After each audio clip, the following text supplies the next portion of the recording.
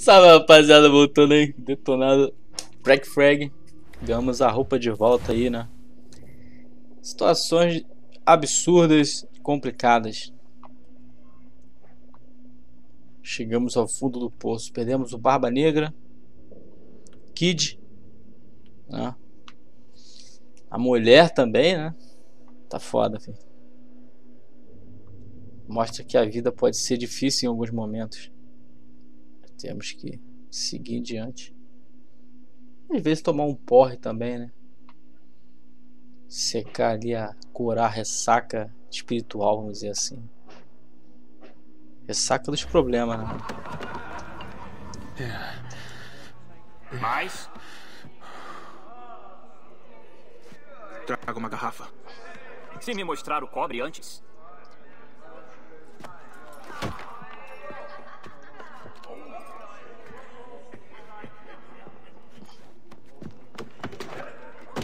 Isto basta?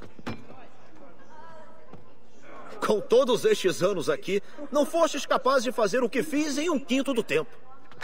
Pois és um homem bom, Eduardo. Compreende? A bondade é a tua doença. Esse é o meu prêmio, Roberts. Devolva!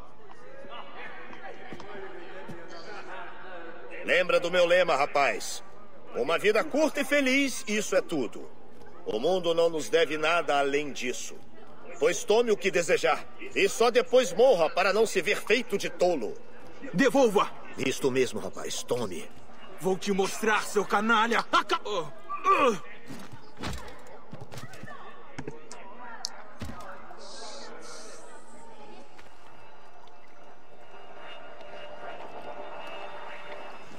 Calma, cãozinho.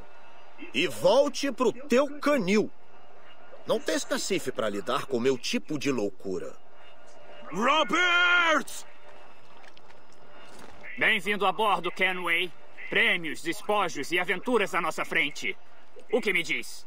Saia da frente, Ben! Prendemos a liberdade, companheiros. Aos cavalheiros de boa fortuna e às moças de má fama. E ao mundo cheio de vagabundos melhores que todos os reis e rainhas que nos ordenam. Por sermos cavaleiros de boa fortuna, apreciamos a fartura e o gozo, e o prazer e o sossego, a liberdade e o poder. Que homem em sã consciência escolheria outra vida?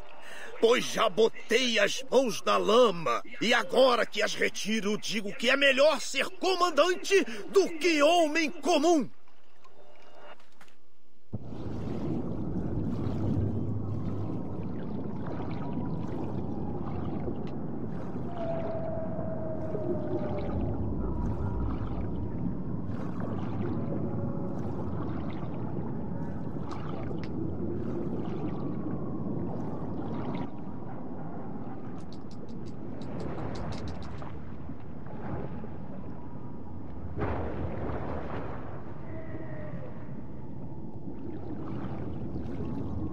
Vou ficar aqui pra virar isca de peixe não, parceiro. Esopo, uma vez escreveu sobre uma águia que planava no alto do campo de um pastor e que mergulhava no ar com asas poderosas, a fim de apanhar uma ovelha e carregá-la de volta ao seu ninho. Voando perto, uma gralha testemunhou o ato e cismou com a ideia de que ela também era tão forte e capaz. E então, com grande agitação e farfalhar das penas, a gralha desceu veloz e prendeu as garras no couro de um grande carneiro. Mas quando tentou voar para longe, percebeu que não conseguia levantar o animal, pois a gralha era fraca e pequena para tanto. E por mais que a gralha se empenhasse, o carneiro sequer notava sua presença. Perto dali, no outro lado do campo, o pastor viu o pássaro, debatia e se impressionou em detalhe. Correndo até ele, o pastor capturou a gralha e quebrou suas asas. Naquela tarde, ele deu o animal aos seus filhos como presente. Que passarinho engraçado este, pai. Eles riam e gritavam. Como o chamas? É uma gralha, disse o pai. Não mais que dois anos.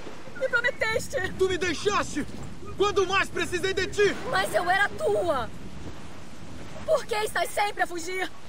Não te faço feliz. Estou tão perto, Caroline! Por favor, deixe-me fazer isso! Será que tudo que fizeste é por rancor, Edward? Não é o rancor que me motiva! É a coragem! Coragem para quê, homem? Não há mais ninguém na sua vida para cuidar. Malditos sejam todos! Eu consigo lidar com isso! Seu paspalho, sempre destruindo quando poderia estar construindo coisas. Ou construindo a ti próprio na falta de outra coisa. Apenas deixe-me em paz! Mude o rumo, Edward. Mude o rumo logo, antes que seja tarde demais.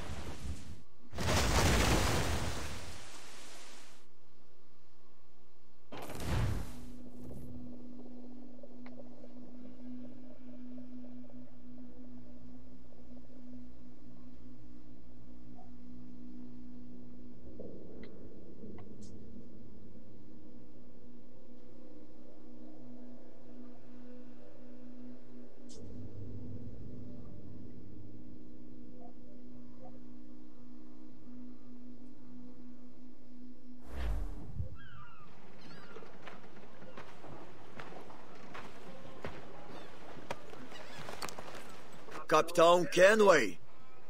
Pareces um pote de pudim de passas. Deus! Sinto o peso de dez cabeças. De pé!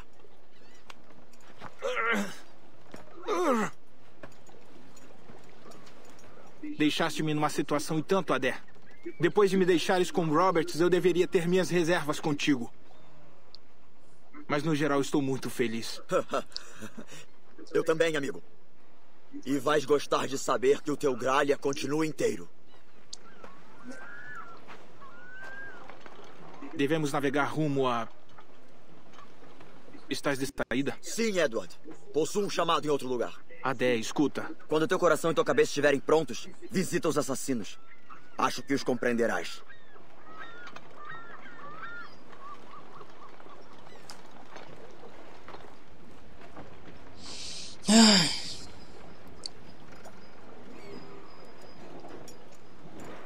Galerinha, eu vou fechando por aqui. Nos vemos no próximo vídeo. Foi foda, filho. Foi foda. Nada a comentar. Esqueça de avaliar o vídeo. Tamo junto até o próximo vídeo. Valeu, galera. Lembrando, os detonados estão na playlist do canal, beleza? Fui!